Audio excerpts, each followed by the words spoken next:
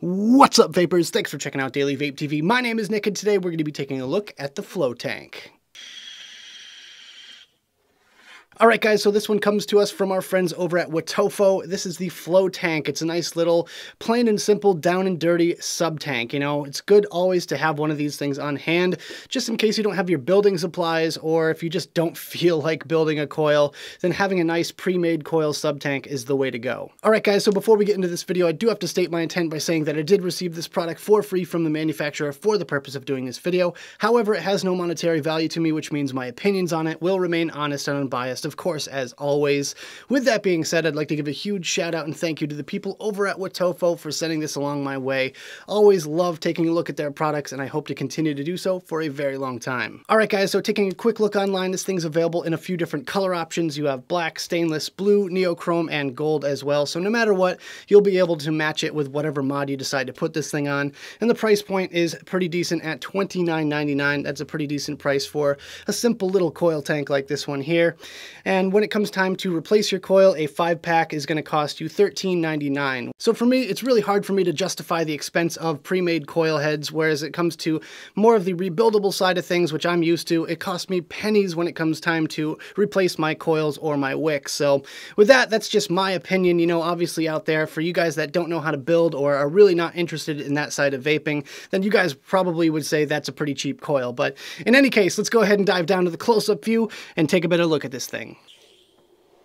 All right, guys, as you can see, we've got our flow tank in the original box. Let's quickly take a look around the packaging, and then we'll talk about what is inside. So, first and foremost, we have a cool-looking black and white skater dude on the front here with a little bit of spot gloss. On the front, we have Wotofo. This side, black, which is our color. We have a scratch and check authentication and the UPC. On this side, we have another Wotofo logo, and on this side, wotofo.com with yet another color indication. And on the back, we have what the kit contains some warnings, and some manufacturer information. So no big surprise there, really nothing out of the ordinary. Let's open up the top, see what we got inside here. Big block of foam. We have, of course, the flow tank itself which we'll take a look at in just a second. We have a nice piece of glass, which is a spare, of course and the silicone plug that actually came installed in the device. Now this is the their way of getting around TPD compliance. So if a shop sells you a tank with a plug in it, then that is how it should be used technically. They have to sell you something that is no more than 2 milliliter capacity.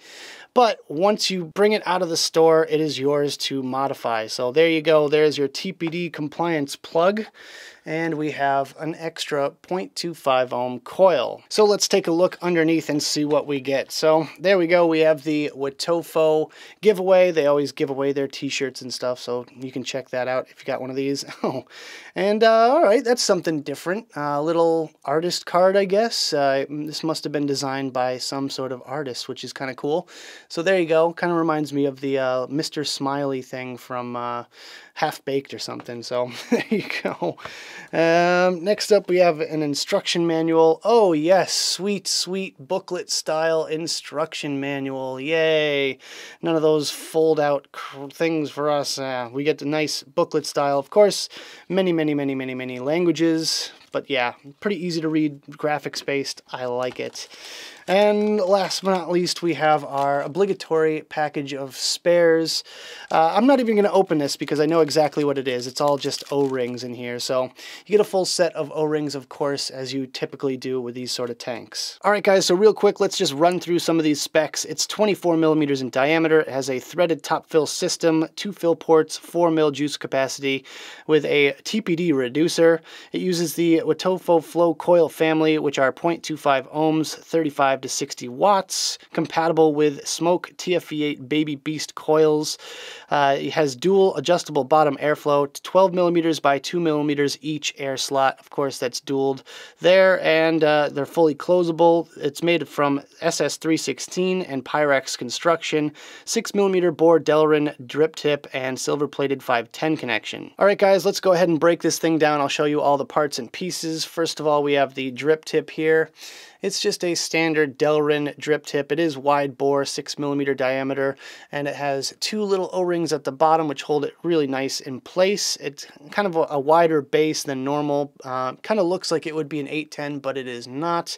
There you can see the bore right there. It is pretty darn wide for a 510, but nothing really too fancy. So let's go ahead and bring this back in real quick. We'll show you the top cap section. Uh, top cap has O-rings on the inside here and the outside there, which prevent any sort of leaking whatsoever. Never had any sort of leaking issues with this tank, which is great. And uh, here are the fill ports at the top. Very, very, very generous fill ports. Really easy to fill this thing up in a matter of a couple of seconds. Uh, definitely no trouble getting your juice into this. No problem there. So taking off the glass section, that's pretty much it for, you know, the actual components of the tank. You know, it just attaches to the coil directly there, and that's about how it's uh, held together. We do have a Q2 Baby Beast coil in here um, for now, just because uh, uh, I already went through the original coil that was in there. So we'll just take that out and yes, this is a Baby Beast coil. There you go. And there's the bottom section there. Nothing too fancy, nothing to write home about. Uh, has flow written right there on the base piece, and you have your very generous airflow slots. Uh, of course, dual airflow slots right there and there. And there we go. On the bottom, it says flow one more time, if you didn't get the message already, with a silver-plated 510 connection. So that's about all I had to talk about in this little close-up section here. Let's go back to the main screen, have a quick vape on this thing, and we'll talk about it some more.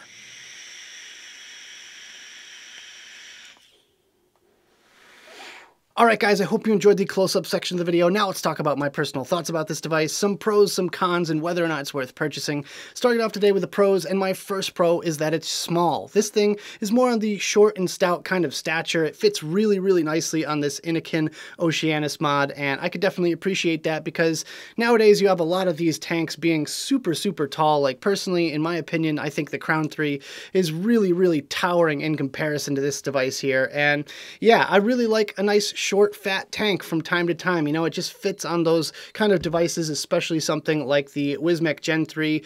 Again, a nice short and stout mod. It definitely would go with a short and stout tank. My second pro today is that it's simple. It's not overcomplicated. You don't have a million O-rings in this thing. It's just a plain and simple, down and dirty, easy to use sub tank, and that's kind of what this world needs nowadays. You have so many tanks with multiple coil heads and all these different complicated features and whatnot to the tank.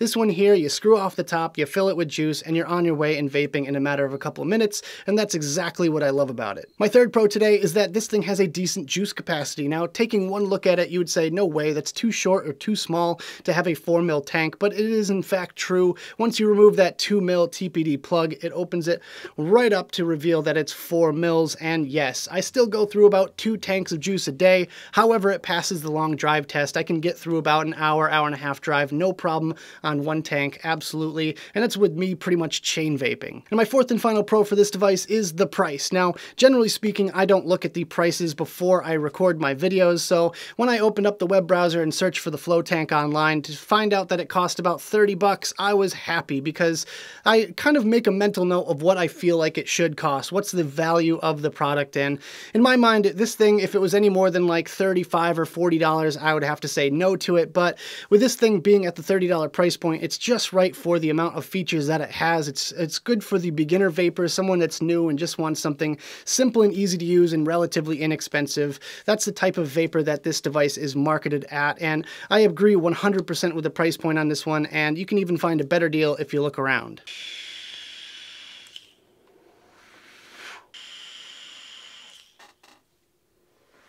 Alright guys, so moving on to the cons, my first con is that the screw-off top cap fill section just feels a little bit dated to me. Now if this thing came out six months to a year ago, it would fit in no problem, but with nowadays technology of all these other companies coming out with their slide open or twist open fill sections, now if you put one of those on this device here, yes it would increase functionality, but it would also kind of take away from the simplicity of it. However, you're not going to end up knocking your top cap off the table and have it roll across the floor gathering dust. And my second and final final con for this device is the coils that come with it aren't the greatest. Now, I was using it for about a week on my own juice. I brought it to the London Vape Show with me, and I just started getting dry hits. I'm not sure, out of nowhere, just started getting dry hits randomly. I'm not sure if the pressure from the plane or anything had to do with that fact, but I really couldn't use this too much when I got to London because I was getting dry hit after dry hit, and nothing I did would prevent it. So as soon as I got home, I threw a Baby Beast coil in there, which helped, and now I'm actually using some coils from Medusa. These are actually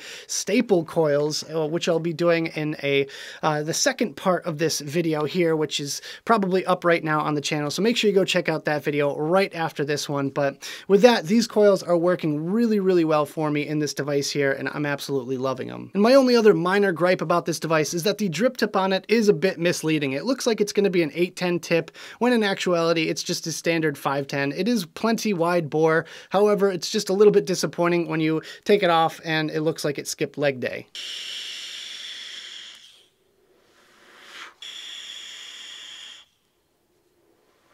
So is this thing worth it? Would I go out of my way to pick one of these things up if I didn't get this one free for review? And my answer would be yes, but only under certain circumstances. Now, personally, I have never owned a Baby Beast or any other SMOK tank for that matter. And with this thing here, it kind of fills that sort of niche if you want to get into that sort of world, if you want to be able to have access to those coils, but don't want a SMOK product. This thing is just barely cheap enough to justify the purchase. However, it comes in a bunch of cool colors. And if you like to be a little bit different from all your friends that have the Baby Beast or Big Baby Beast, then this would be a good option for you. So make sure you check out the links I've got right down there in the description below if you want to pick one of these up for yourself.